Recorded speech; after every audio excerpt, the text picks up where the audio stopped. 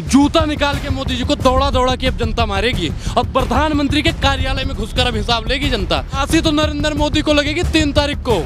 तीन तारीख को लगेगी इनको फांसी। ऐसा मोहर मारेगी ना जनता। और पाँच राज्य का चुनाव है ना, पाँचों एक साथ लटक जाएँगे। विकास आज तक नहीं पैदा कर पाए। अगर कुछ पैदा ही करना होता तो यशोदा बहन को न छोड़ देते। मध्य प्रदेश में, मध्य प्रदेश में जब चीरहरण करवा रहे थे भारतीय जनता पार्टी वाले, तब आप लोग कहाँ मर गए थे?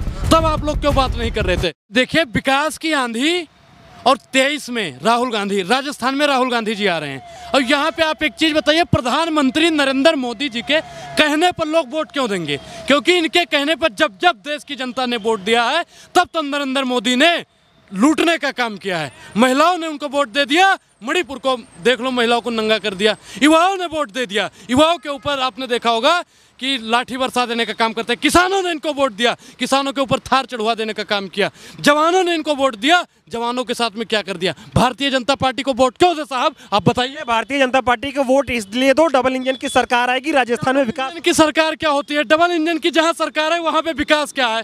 वहाँ पे विकास ठप है क्योंकि वहाँ पे कोयला ही नहीं पहुँच पाता है। डबल इंजन वाला कंफ्यूज हो जाता है इंजन इधर लेकर जाना है कि इंजन इधर लेकर जाना है। एक इंजन की सरकार रहेगी तो विकास की रफ्तार भी रहेगी।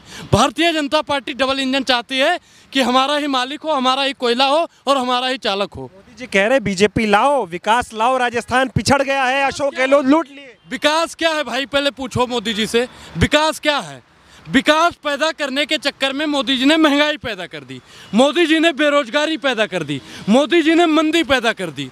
विकास आज तक नहीं पैदा कर पाए। अगर कुछ पैदा ही करना होता तो यशोदा बहन को ना छोड़ देते।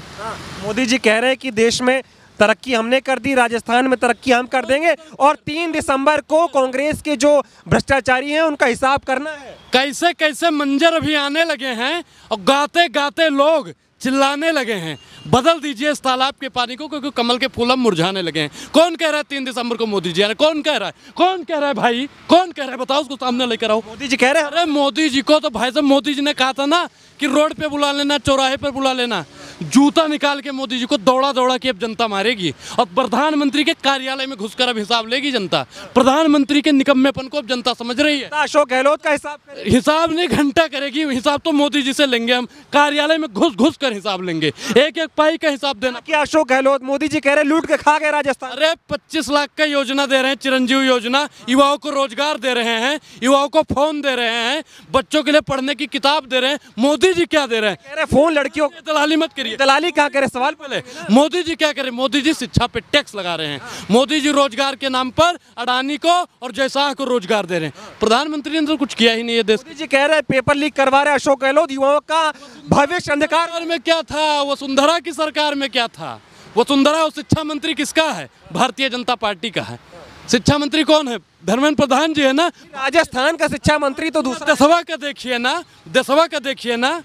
और परीक्षा लीक होती है गलत है लेकिन वसुंधरा राजे की सरकार में 21 बार से ज़्यादा हुई और गहलोत सरकार की में 15-16 बार हुई बस गलत है परीक्षा लीक होने वाला गलत है उसके विरोध में लेकिन प्रधानमंत्री नरेंद्र मोदी क्या कर रहे हैं आप बताइए। मोदी जी कह रहे हैं हिसाब लेंगे। अरे हिसाब नहीं घंटा लेंगे हिसाब तो मोदी जी को देना पड़ेगा एक एक पाई का हिसाब देना पड़ेगा।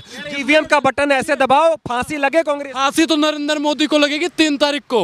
तीन तारीख को लगेगी इनको फांसी। ऐसा मोहर मारेगी ना जनता। और पाँच राज्य का चुनाव है ना पाँचों एक साथ लटक जाएँगे। अरे मोदी को फांसी लगेगी। बिल्कुल लगेगी। कांग्रेसियों को फांसी लग जानी चाहिए उनको नहीं लगेगी बताओ। बीजेपी वाला जो कहे अच्छा वही है ना कि सैया बनल कतवाल तो डर का है बात। राहुल गांधी एक जो है रैली करके चले जाते हैं। मोदी बताओ दिन भर रोड शो करते हैं। अरे वो झुट्ठों का सरदार है नरेंद्र मोदी झुट्ठों का सरदार है। मक्कारों का सरदार है बेरोजगारों की बात ही नहीं करता है महिलाओं की बात ही नहीं करता है किसानों की बात ही नहीं करता है चौबीस घंटा झूठ बोलने का काम करता है। प्रियंका गांधी कह रही है मोदी मोड़ तो ढूंढ लेते हैं दूरबीन से लेकिन मुख्यमंत्री नहीं ढूंढ पाए। ढूंढ ही नहीं पाएँगे है ही नहीं कोई चेहरा ही नहीं गहलोत के सामने टिकने के लिए मर्द चाहिए मर्द। और इनको ढूँढने से भी कोई नहीं मिल रहा है। अरे है तो उनके पास बहुत भाई कहाँ है? सांसद है उन्हीं को बना है? आसपास में किसी की तस्वीर भी तो नहीं दिख रही कि हम किसको मान ले। भाई कौन है मुख्यमंत्री? कौन है मुख्यमंत्री? ढूंढ के लाओ मोदिया। ए मोदी जी अभी जाएँगे ना ढूंढ के लाएँगे मोदी जी। कौन है मुख्यमंत्री बताइए? उनके पास कई चेहरे कोई चेहरा वहरा नहीं है। राजस्थान में एक ही चेहरा है गहलोत गहलोत गहलोत मतलब गहलोत। गहलोत के आगे कोई टिकने वाला नहीं है। कहाँ मोदी मैजिक कहाँ अशोक गहलोत? भारतीय जनता कहाँ मोदी मैजिक कहाँ अशोक? मोदी मैजिक। घंटा उनकी कोई मैजिक है। मोदी मैजिक को गहलोत सरकार ने खत्म कर देने का काम किया है। भारतीय जनता पार्टी की तानाशाही को खत्म कर देने का अगर कोई काम करेगा तो गहलोत सरकार करेगी। अमित शाह कह रहे हैं लाल सांड जैसे कपड़ा देख के भगता है ऐसे अशोक गहलोत लाल डायरी से भाग रहे हैं उसमें भ्रष्टाचार का पाई पाई का अरे कौन सा भ्रष्टाचार है? उस लाल डायरी में विकास की बातें लिखी हुई हैं। भारतीय जनता पार्टी इसलिए खुलवा रही है कि इसमें देखो क्या क्या किया है।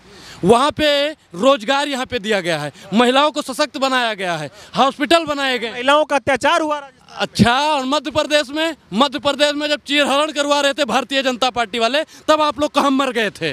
तब आप लोग क्यों बात नहीं कर रहे थे? चीरहरण हो रहा था ना भारतीय जनता पार्टी की सरकार में तब आप लोग नहीं पूछते हो। क्यों? क्योंकि वहाँ पे आपके चाचा की सरकार है। कहते हैं रिजॉर्ट में रहने वाली सरकार है ये। अरे भैया घंटे कौन सी रिजोर्ट में रहने वाली सरकार है? भारतीय जनता पार्टी जब तक भाई साहब पूरे देश से नहीं हटेगी तब तक इस देश का कल्याण होने वाला नहीं है। विकास की पहिया को अडानी जी रोक रहे हैं। अडानी जी विकास कर रहे हैं। अडानी जी पहिया रोक रहे हैं विकास का साहब क्योंकि मोदी जी अडानी के नौकर हैं। और जब तक मालिक का आदेश नहीं आएगा नौकर काम नहीं करेगा। बीजेपी वाले कह रहे हैं जेपी नड्डा कह रहे हैं कि राहुल गांधी जितना प्रचार करेंगे राजस्थान में उतना फ़ायदा है बीजेपी को। ये कैसे भैया? प्रधानमंत्री नरेंद्र मोदी प्रचार करेंगे तो बीजेपी का नहीं कांग्रेस का ही फ़ायदा हो। और राहुल गांधी प्रचार करेंगे तो राहुल गांधी का फ़ायदा होगा। बताइए उसने गलत क्या है? उसमें गलत ये है कि हैं, कुछ भी बोल देते हैं। क्या गलत क्या क्या गलत वो बोल रहे हैं आप बताइए? वो शिक्षा पर बात करते हैं रोज़गार पर बात करते हैं महँगाई पर बात करते हैं। और मोदी जी सत्तर साल पहले चले जाते हैं। वो कहेंगे ना जब काम नहीं हुआ तो आप काम करने के लिए आप झूठे वादे कर रहे हैं। झूठे वादे तो नरेंद्र मोदी करते हैं कांग्रेस सरकार झूठा वादा नहीं करती है। भारतीय जनता पार्टी का किन्हीं पाँच वादों का नाम गिनवा दीजिए जो पूरा हुआ हो।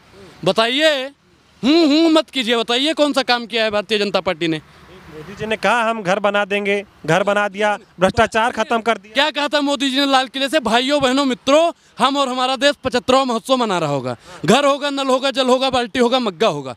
बता दो कितने को घर दे दिया? तो दिया अमृत काल आ गया। क्या लाद दिया भाई? अमृत काल सुनिए सुनिए प्रधानमंत्री जी ने कर्ज का बोझ लाद दिया। एक एक बंदे पर जिसपे पैंतीस सौ का था आज पैंतीस लाख का कर्जा हो गया है।